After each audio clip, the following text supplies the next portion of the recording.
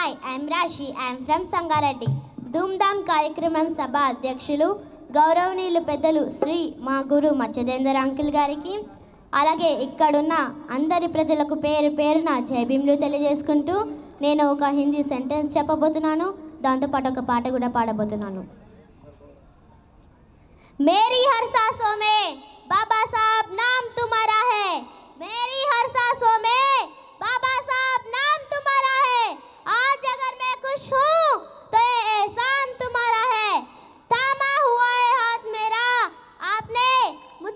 मालूम है।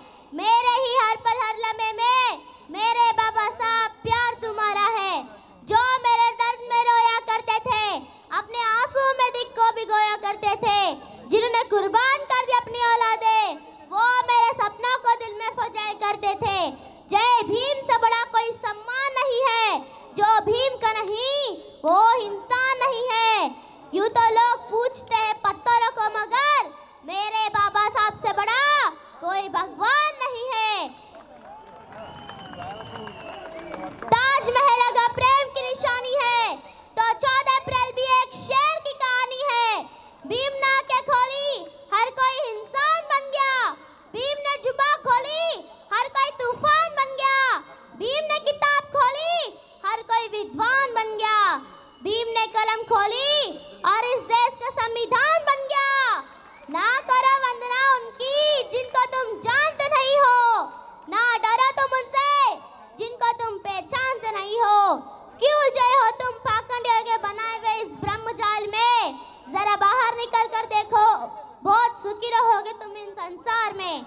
ना राम ने कुछ दिया है, ना कृष्ण ने कुछ दिया है। हमको जो कुछ भी दिया है बाबा साहब, आपके संविधान ने दिया है। पूछते क्यों उनको? जिन्होंने तुम्हारा शोषण किया है। पूछते क्यों नहीं उनको? जिन्होंने तुम्हें जीने का अधिकार दिया है। पूछना है तो बेशक पूछो, लेकिन उनको जिन्होंने तुम्हारे लिए अपने जीवन का हर सुख और अपनी दुनिया चावर कर दिया।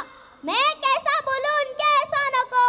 जिन्होंने मुझे जीने का अधिकार दिया है। मैं कैसा बोलूँ उनके एहसानों को?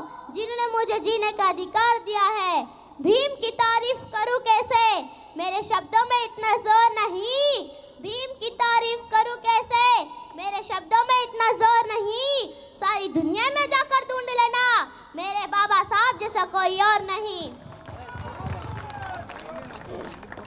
मेरे दुश्मन कहते हैं, राशि तेरे पास ऐसा क्या है, जिससे तेरे नाम कितनी चर्चा है? मेरे दुश्मन कहते हैं, राशि तेरे पास ऐसा क्या है, जिससे तेरी नाम कितनी चर्चा है? तो मैंने भी कह दिया कि दिल नरम और दिमाग गरम। बाकी सब मेरे बाबा साहब का करम है।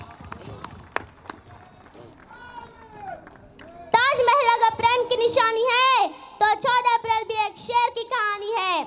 फूलों की कहानी बहार ने लिखी, रातों की कहानी सितारों ने लिखी। फूलों की कहानी